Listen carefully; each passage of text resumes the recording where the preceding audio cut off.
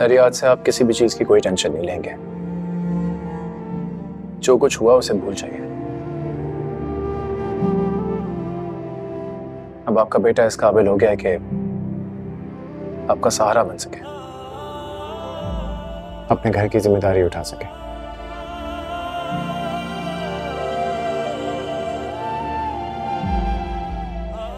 हाँ। हमारे इस घर में दौलत की रेल फेल तो नहीं होगी, लेकिन इज़्ज़त होगी। रिस्क हलाल होगा, सुकून होगा, और मैं आप लोगों से कमिटमेंट करता हूँ